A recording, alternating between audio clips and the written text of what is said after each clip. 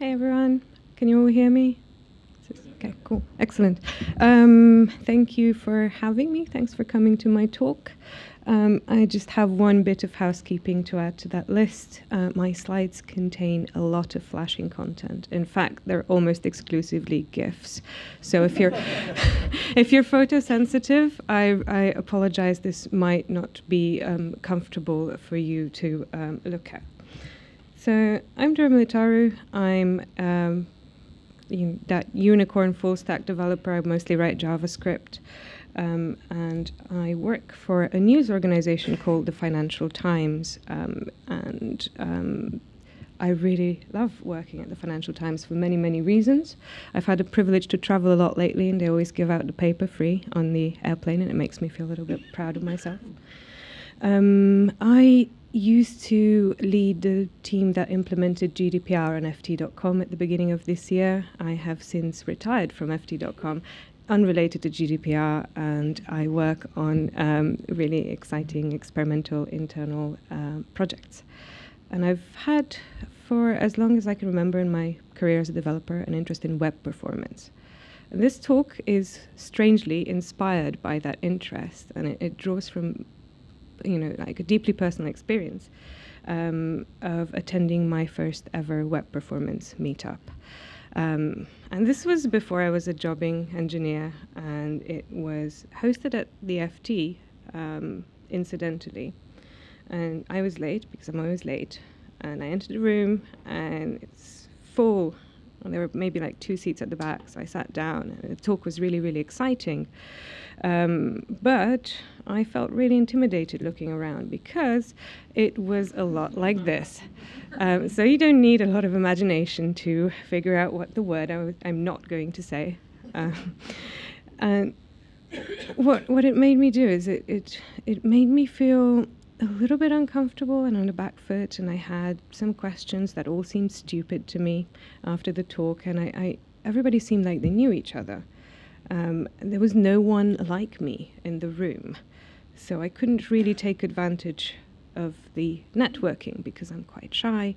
Um, and, you know, it just wasn't a very positive experience. I don't know if anyone can relate to this. It's kept happening to me a few times. So I've been to like an IETF panel on QUIC, where someone, the organizers, took photos and live tweeted the whole event, and someone on Twitter was outraged on my behalf because I was the only woman in the room. Um, and that was again strange because the conversation didn't include me. Um, and this happens so often that it is baked into our implicit associations. And I really apologize about this, Jim, but you know, you said okay, we're going to have a 30 minute break now, um, and then we're back to talk about where are the women. Thanks, guys. So that sort of thing. I had to do it. I had to do it. This happens all the time, and this happens never. So this is. in, in, in the spirit of festive cheer, this is why I want to, I want to ask, where are the women? Because there's nothing I could talk about diversity to uh, spell out Christmas. Okay. Um, do we still have this problem? So I look around and I see women in the audience. There are um, fellow female speakers at this um, conference, and I work with quite a few badass women. So my principal engineer is a woman, our um, CIO is a woman. Um, the head of cybersecurity is a woman. I have lots of very talented female colleagues on my team. Um, so, what is what is my problem? Is this question still relevant? Mm, okay. I'm. My problem is that I'm white and I'm young and I'm female and I was born female and I'm a European citizen and I've traveled to maybe seven countries in the past two months and no one's asked me to balance a binary search tree at immigration. And this happened to a Nigerian developer called Celestine Omin when he tried to go to a conference in the States. Um, I never got randomly searched at the airport, and I, you know, I get paid to code, so I'm living the dream.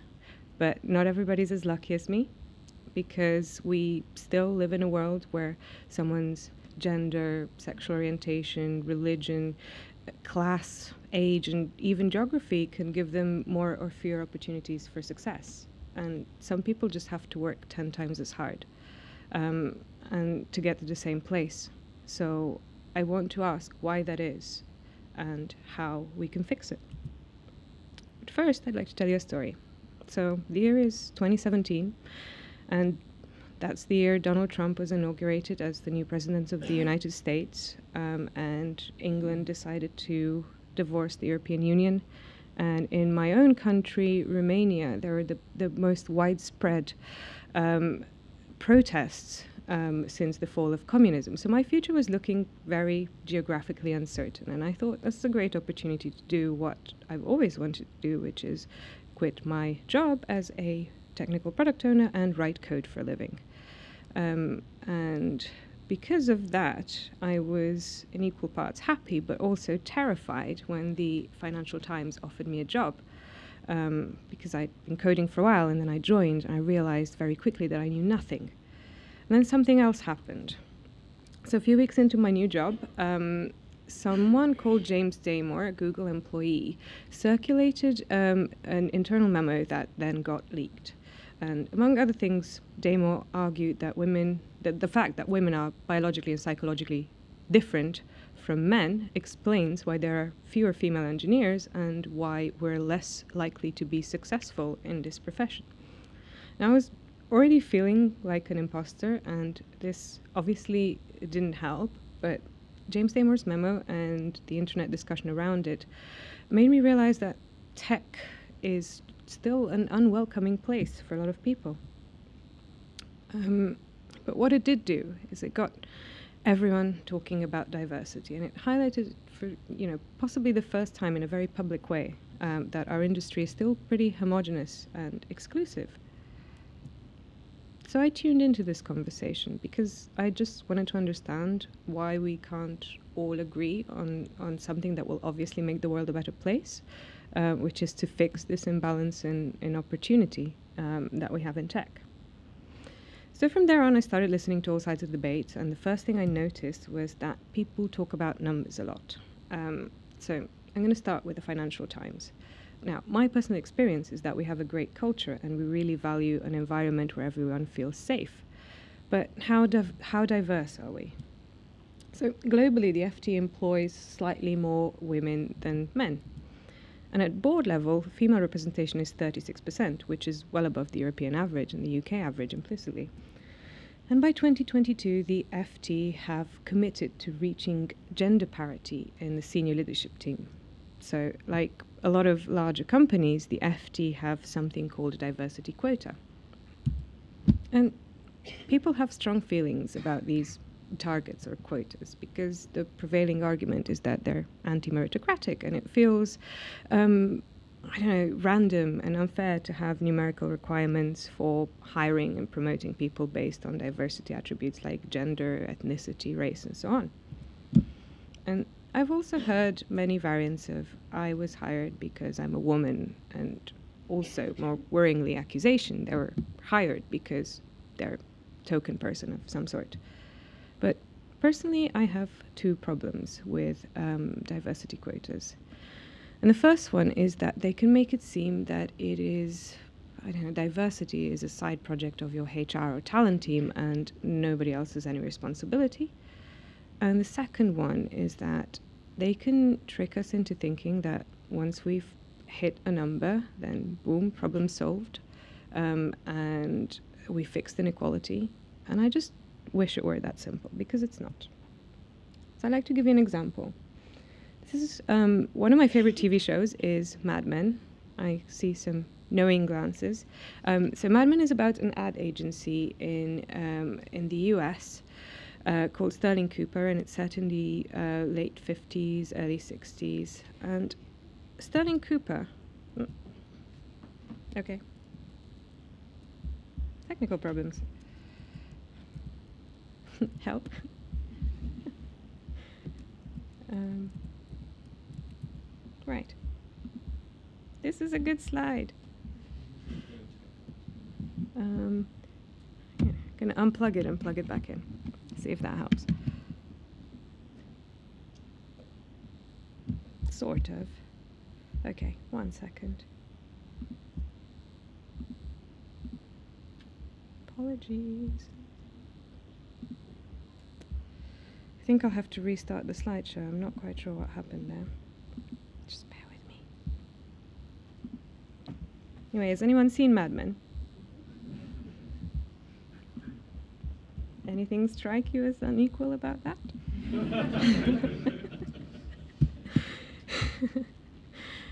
Getting there. Ah, I forgot all my jokes. This is this is this hasn't happened to me before. Okay, here we are.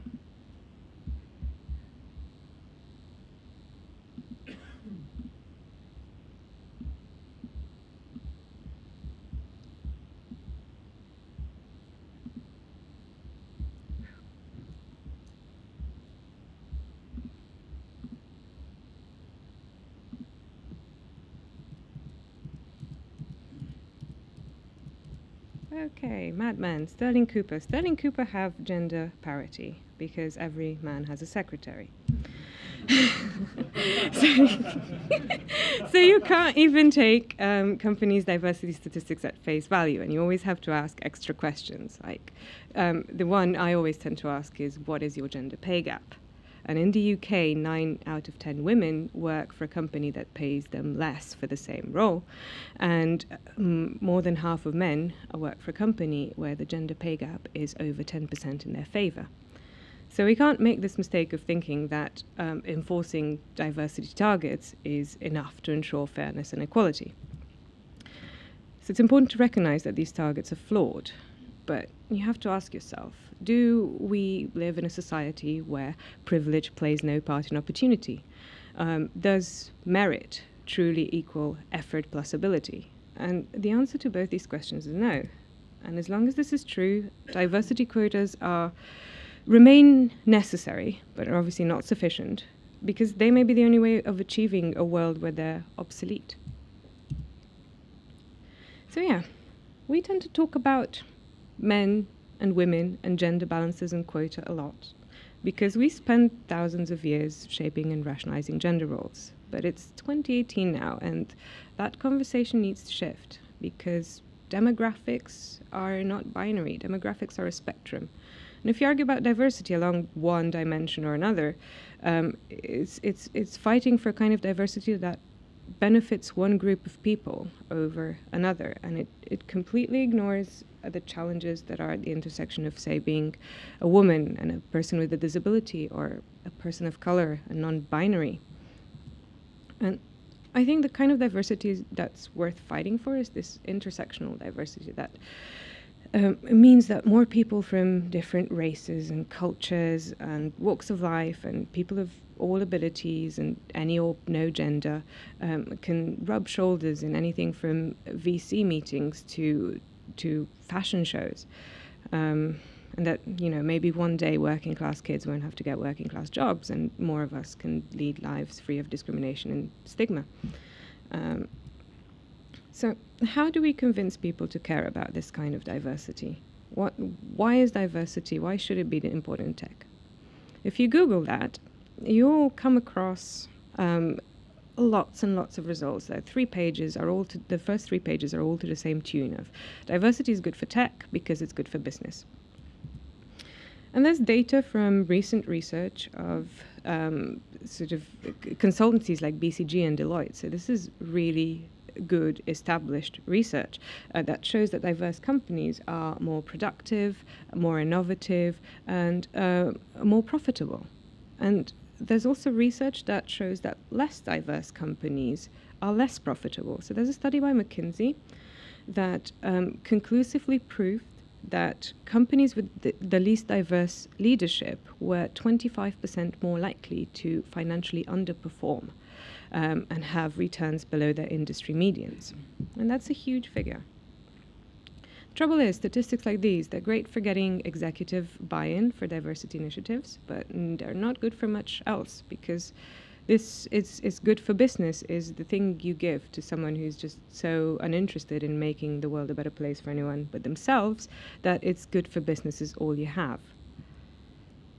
And it's good for business doesn't make a difference um, to the opinions of an engineer. It's Like it's not my battle cry because it doesn't actually help with fixing unfairness and equality, and it doesn't help us build diverse workplaces or conferences or panels from the ground up. And also, it's super boring because, to quote a dear colleague, um, because as someone outside of your company, I don't care if it needs me or people like me to be better itself. So we need a different kind of argument. Um, I think caring about diversity requires a moral argument that acknowledges inequity because there is systemic inequity in access to education, access to employment, and, and we have these stereotypes that persist uh, around race and gender and wealth and social class. And even our institutions, anything from education to politics, come with unequal outcomes built in that benefit some people uh, more than others. And, and these are all facts. And if you think about it, diversity statistics, anything from minorities in politics or you know women in secondary education, they're actually a good barometer for social justice and equality. And the more people understand this in, in the finer nuances, the more we have a chance to change, um, and, the, and the more the more society as a whole begins to care about the issue. And ignorance is part of the oppression, and no one's going to argue with a moral argument for fixing diversity problem. Okay, like maybe bad people will argue um, because you know, or ignorant people. But we're all good people here, and good people like you and me are going to uh, use their inquisitive minds um, to find ways to fix this once we've acknowledged that it is a problem because the lack of diversity perpetuates injustice and is in turn perpetuated by injustice. When did that disappear? can, can, you just wave at me, please? oh, goodness. See, sorry. okay, here we go. I am. If this happens again, I will just do it off the cuff and without slides. But you'd be missing out on like 80 great GIFs.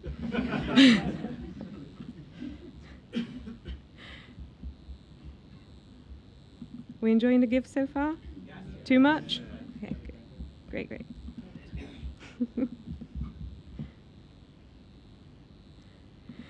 okay, fingers crossed that this will actually work this time.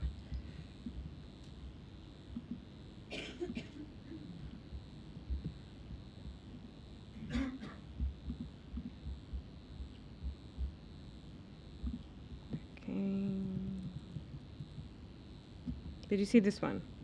Great.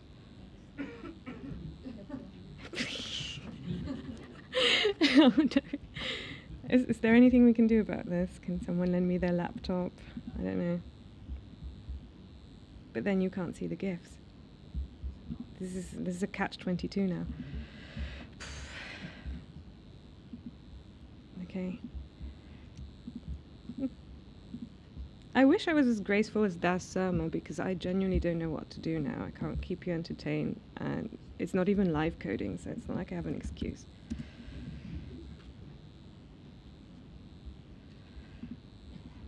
Let's try this one more time. It's just Google Slides you use it. It is. Do you yeah. want to try run it from this one? Yes. Can I share it with you? Where can I send it? Well, then I have to log into Google and everything. Okay. I don't know if that's quickest because it seems to be this is crashing and can't handle it. Maybe it's the browser not working. Mm, perhaps. Okay, I shall try a different browser. That's a good point. Safari to the rescue. I don't think I've used it this year.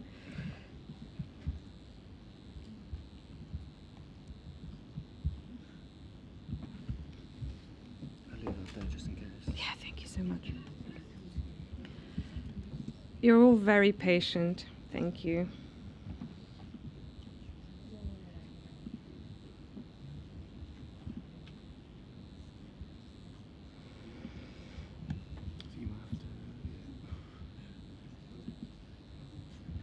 Okay, take three.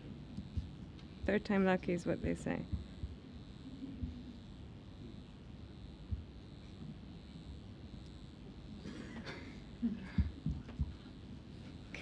Get my bookmarks away. Okay. so right, we've established that we're all good people here and we care about diversity. Um, um, but the trouble is that sometimes good people say and do things not for the intrinsic value of those things, but because of what they say about us. Um, you're joking. okay, this is not good. Okay.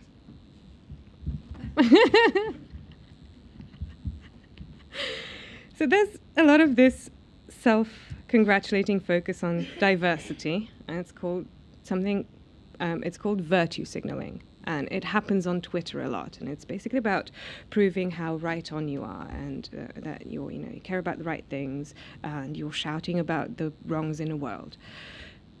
Uh, in other words, you give a shit. But this almost invariably comes from a position of privilege, and it's super unhelpful. And it's sometimes so noisy that we uh, we maybe we don't notice that the progress we've made is not sufficient or that our implementation is slipping. So you really can't be naive and idealistic about this. Because the space between caring and not giving a shit is in the follow up. And, you know, you, you purpose is not enough. You, you can't create change without considerate implementation. So you have to find your own reason to care beyond this, this moral case for diversity. And what I often do is I frame things from a selfish perspective. So most of us are invested in enriching our own lives, but we don't live in a void. This richness comes from the world around us, from, from gaining something called cognitive diversity. In other words, diversity of thought and knowledge and experience. And this is something most of us aim for as individuals, and uh, you know we do this through the uh, the pursuits we seek out, through our aspirations in life, um, through our quest for knowledge, and, and also the people we connect with.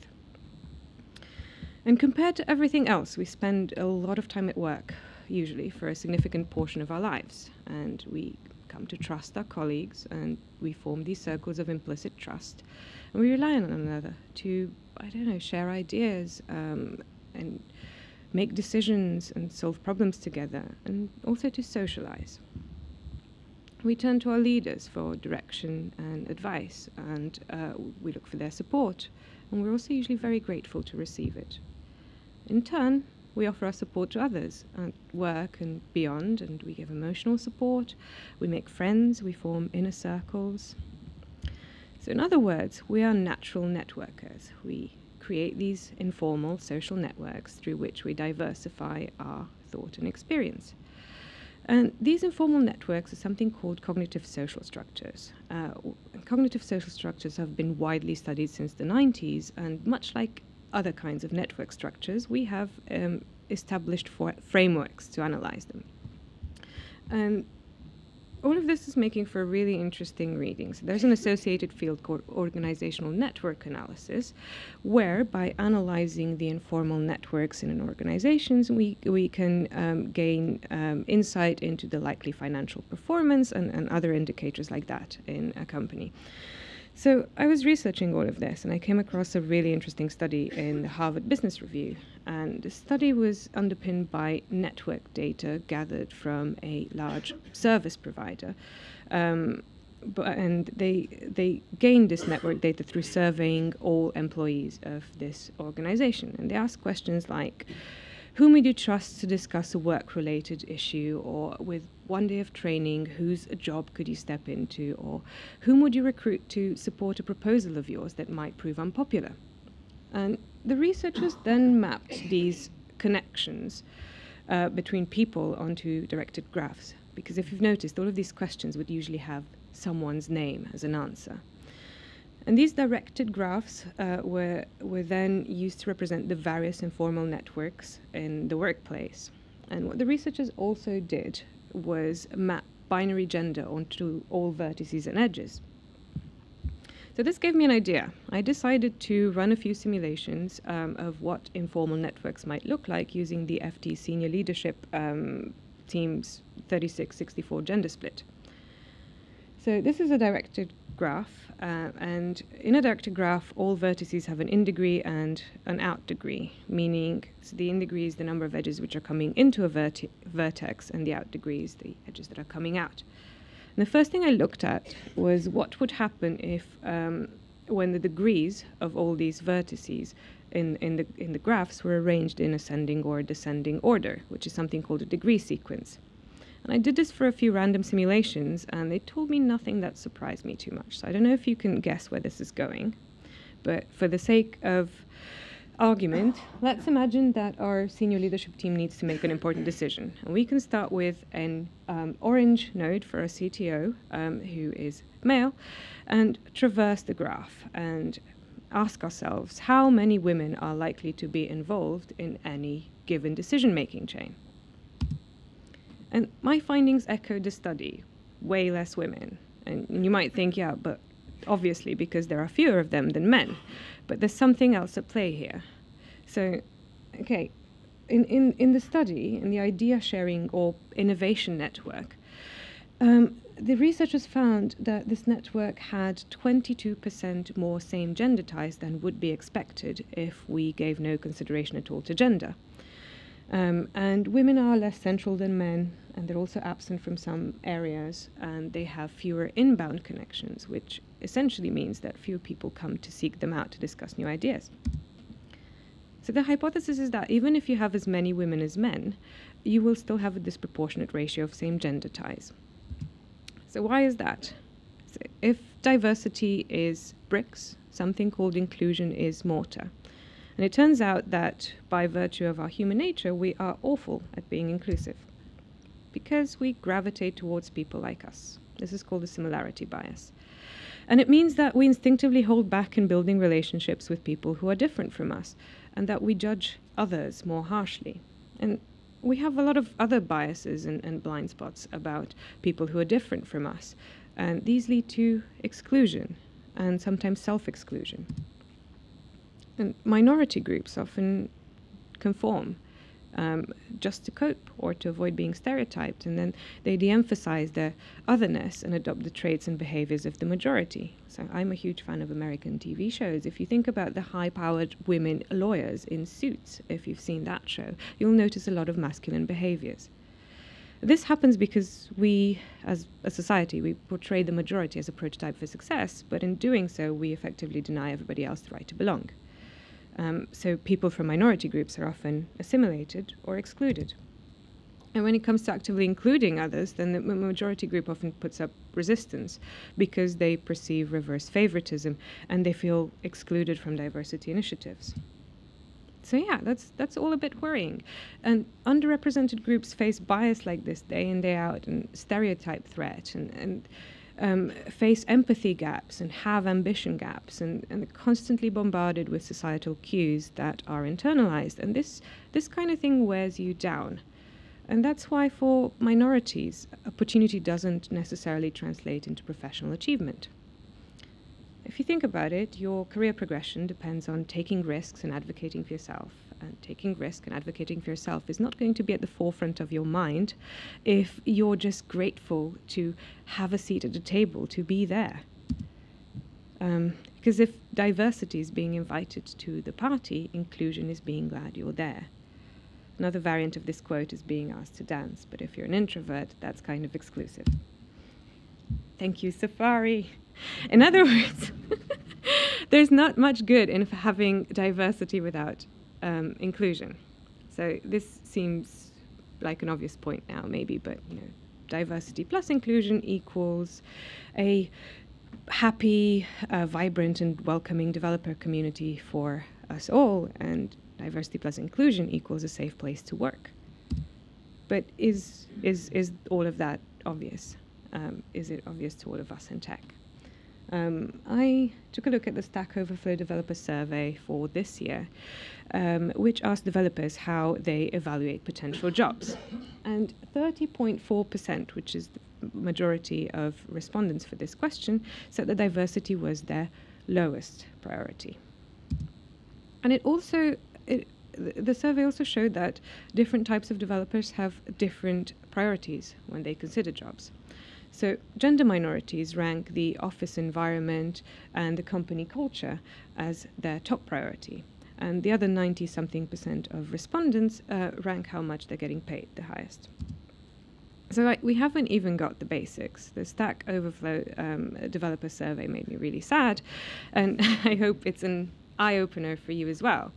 But I'm not going to make us emigrate to the moon because I will try to answer the question how. How are we going to take down the barriers that stand in the way of a truly diverse and inclusive tech industry? And we can start by admitting that there are things in our power that we can do and acknowledge our collective and individual responsibility to make things better. There's no magic wand or quick fix, but um, there's a few things that you can do right now. And the first one is pledge to do no harm. So just make an effort to be kinder and more compassionate and stop and think before you speak and act.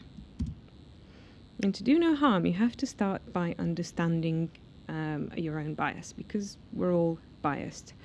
Um, and understand your own privilege, size it up, and keep it in check. And neither of these things is obvious or easy because they require a lot of introspection, which is hard. They require a lot of honesty, which is even harder, and they require research. Um, but there's a lot of that on the internet, thankfully. And I'd like to suggest that you could use a website called Project Implicit to find out some of uh, some of your implicit associations with regards to gender, race, sexual orientation, and, and many other topics. The second thing you can do is you know, hire people people, people who care about diversity and inclusion, and hire them from underrepresented groups. And this is super hard and you're going to meet with opposition. Invariably, there's someone who says, yeah, diversity is important, but we can't lower the bar. This bar is bullshit. This, this bar is a consensus that comes from a privileged position, which was held for a long time by the same majority that is part of the problem and not the solution. So I think it was last year that an internal study at Google found um, no correlation between an, interviewing, an interviewer saying hire and someone actually being a good or a bad hire for the company. Which means that no one in tech actually has a bar that works very well at determining good versus bad hires. And that's regardless of ethnicity uh, or gender or any other diversity variables. Okay maybe someone will just say, yeah, you know, it's important, it doesn't matter about the bar, but not enough minorities are applying. This is something called the pipeline problem. And if you encounter this, you have to ask yourself why it is there and then try and fix it. So, a good place to start is usually job descriptions. Um, there's the obvious things like leaving Node Ninja out, and we have beer pong. Um, and you know maybe maybe you don't have that. Maybe you have a list of bullet point requirements. Uh, and you have to understand that lists like that implicitly select implicitly select for the majority which will apply when they meet a lower proportion of your criteria. Studies show that's at 60% versus minorities which will only apply if they meet most of all or all of those requirements. So you know, besides common sense and, and empathy, there are tools like um, Textio that can help analyze your job descriptions and find more obvious points for improvement. Okay, so maybe you don't have uh, job descriptions with bullet points. Maybe what you really care about is uh, someone's GitHub or blog or their open source contributions or uh, their public speaking record. Um, so, yeah. How many underemployed single moms do you think you'll hire? Probably not that many. If your job is to build the best team, you have lots of strategies to, to getting there. But if your strategy is to hire the best candidate for the role uh, without regard to the team's composition and it leaves you with a weaker and less diverse team, then that strategy is failing and it needs to change. Um, so I, I really like that um, Ben uh, clearly argue that diverse teams are important and, and better. So I have a mental list of products built by teams that weren't diverse. So things like every inaccessible website, or uh, hand dryers that only work for white hands, or seat belts that cause spinal injury in women but not men. So, yeah, have to build diverse teams, and, and you can't just expect people to show up. You have to reach out to underrepresented groups and actively seek them out. And there are ways to do that. Um, a good place to start, for example, is Twitter. And you know, once once you've built this diverse team, and once you've reached out, you also have to remember to support and nurture people because underrepresented groups have to prove themselves to a far greater extent than everybody else. So there are studies that show that men are promoted based on um, potential, while women are promoted based on past achievement. So you can't just hire people and leave them to get on with it because that's not going to work. You have to have their backs and be a mentor, be a sponsor, and be there for them throughout their career and give them opportunities as, as they grow. And you can do that by advocating for others, you know, taking time to give recognition, using any platform you may have to shout about the triumphs and the challenges that minorities in tech face. In other words, you should aim to become an ally, and all of us can be allies for each other. Uh, we can do that by building up our social intelligence and our empathy and, and getting comfortable with tampons and pronouns and starting by learning the language used to describe disability and ethnicity and sexual orientation or religion because it really matters to people. So if you don't know, just just ask and listen and try and become part of the solution by supporting minorities in the workforce and, and beyond. You know, maybe be a equal partner or an equal parent. Um, and I have to take this opportunity to bring up Tampon Club, um, which is essentially just a group of people leaving tampons and sanitary towels in um, workplace toilets so that they're available when they're required. But remember to put them in both bathrooms because someone might be transitioning.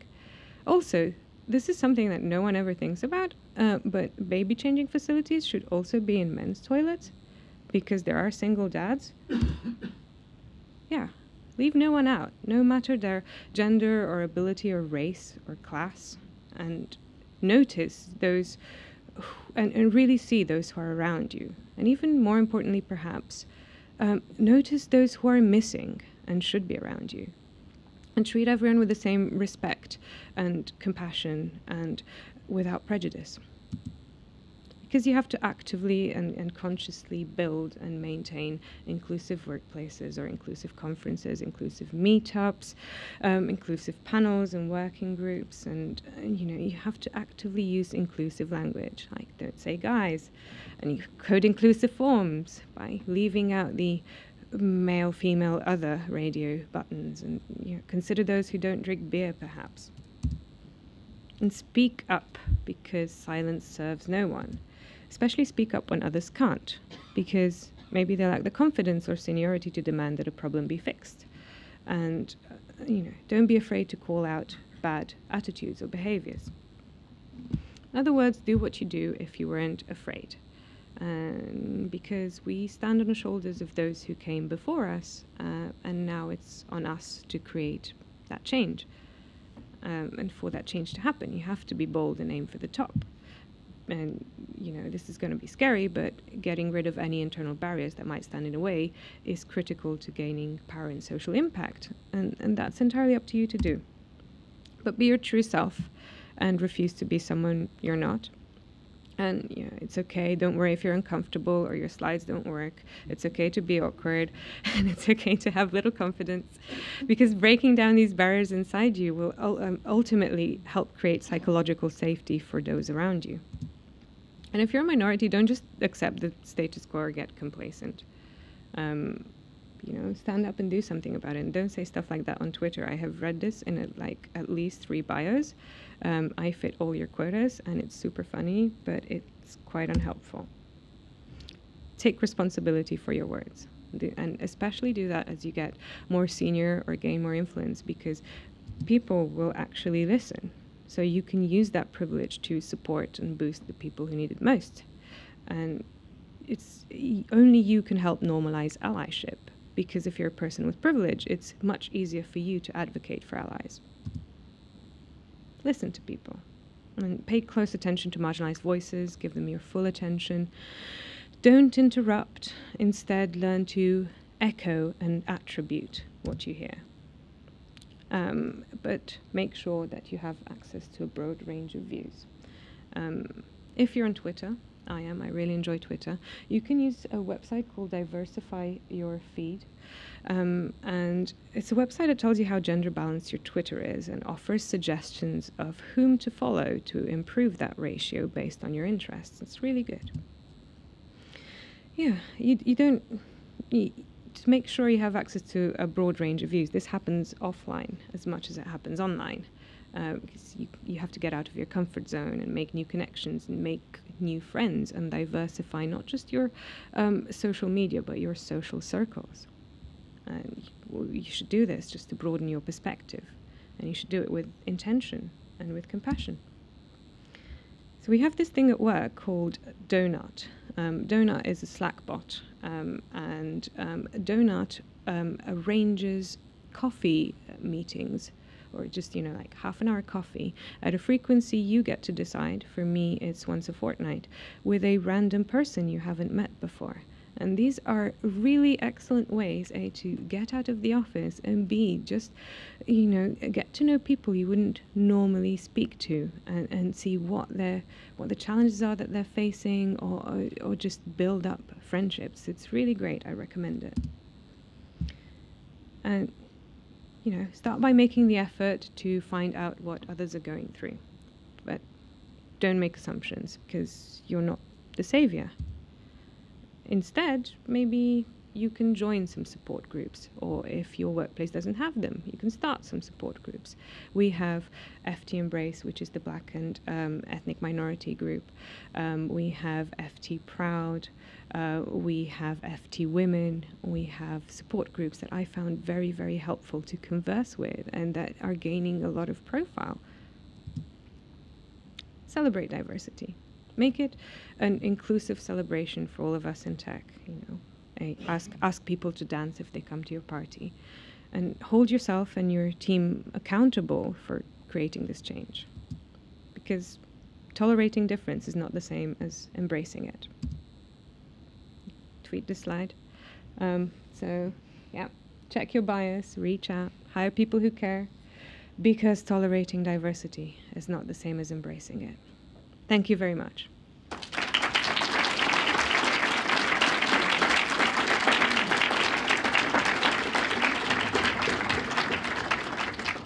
Don't use Chrome Canary. Thank you so much. Uh, I think we have uh, five or ten minutes for questions. If anyone has any questions.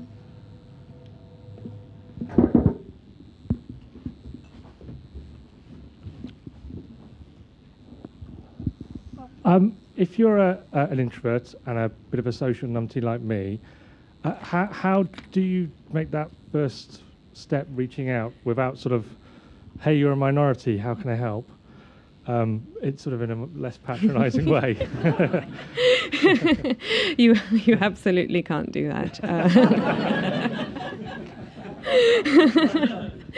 um, the way I've done it is just by trying to make friends with people first and, and not feeling like you have to help, but feeling like there is a shared problem that you can solve and that, you know, it will make your life better and your team better and your product better um, to have more varied views around you. Um, you should totally not do that and just be more assertive if you're a hiring manager and just say no to like super homogenous CVs and stuff like that.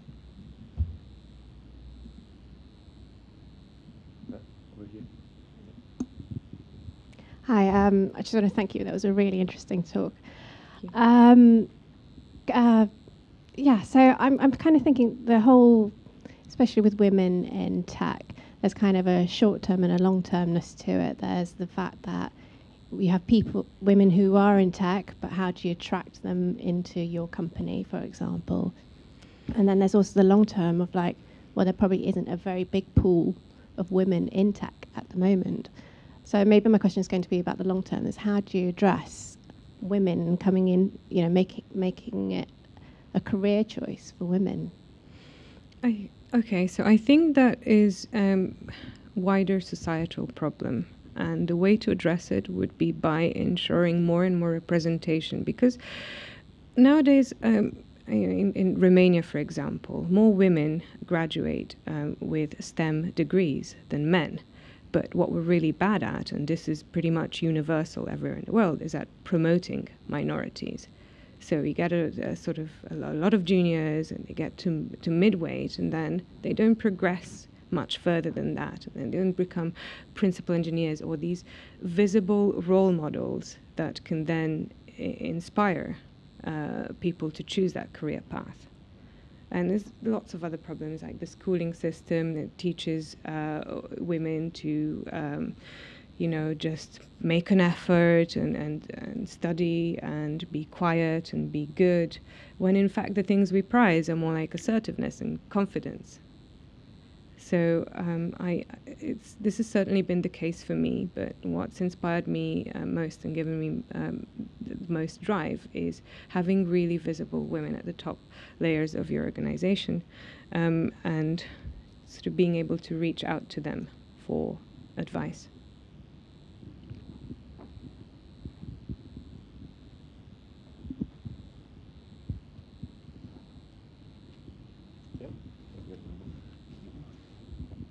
So just kind of wanted to say that was really a great talk, and I appreciate that you mentioned the intersectionalities of things. I think that tends to go missed. Not so much a question, more of a suggestion to that comment earlier. Um, reaching out to minority groups, start by finding people in your field on Twitter, I would say, in those groups, and talking to them on Twitter before you walk up to someone in real life and do it. Because if you share a common interest with someone, that could be your topic versus, hey, you're different to me. This is why I'm talking to you. Um, but yeah, really great talk. Thank you. Great. Hi, thank you for your talk. It was it was really good. Um, how do you do you have any recommendations for how you can avoid the onus of all this kind of change falling primarily on people in underrepresented groups? um, the emotional outlay is real. I, uh, you know, we often have to advocate for ourselves. Um, the how how you can avoid the onus falling on underrepresented groups is you know if you're in a position of privilege or if you have a platform and you're in a majority group start by lifting those people up if you have a meetup and someone comes and does a talk about a non-technical subject. So this is funny story is actually the first ever talk i gave in a lightning talk format and i gave it at the london web performance meetup which was my first web performance meetup. I gave it several years later for christmas. And i was so nervous and i had the best introduction. Someone just came the, the organizer of the meetup came on stage it's like you all should listen. This is important. So it, it, it's little things and if it's if you're in a position of power or if you have a platform or if you you know just take that soapbox stand on it and um, make those changes to um, your company's diversity policy or start uh, including more um, speakers from underrepresented groups at your meetup or you know if you have a woman on your team stop asking her to organize your socials. It's things like that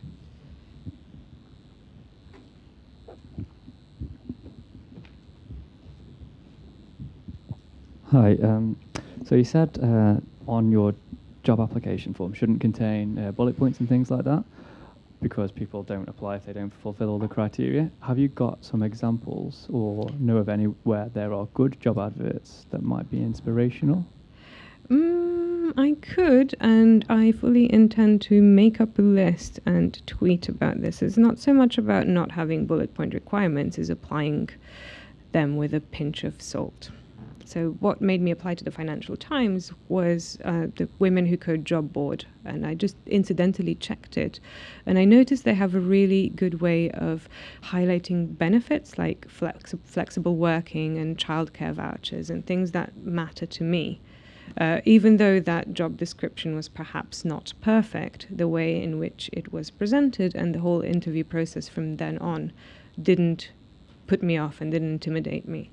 So improve your job descriptions, um, choose the right channels to spread them around in. Um, make sure you have you use inclusive language and make sure you are a good place to work for someone from an underrepresented group. Thank you, everyone. I'll be very careful with my uh, collective nouns. I'm sorry. Um, it is it is an incredibly important subject and uh, and a fascinating talk. Thank you so much. Um, we'll be back here in an hour, uh, so 20 to two. Um, so there's a lunch break now for an hour. Thank you, everyone. Thank you.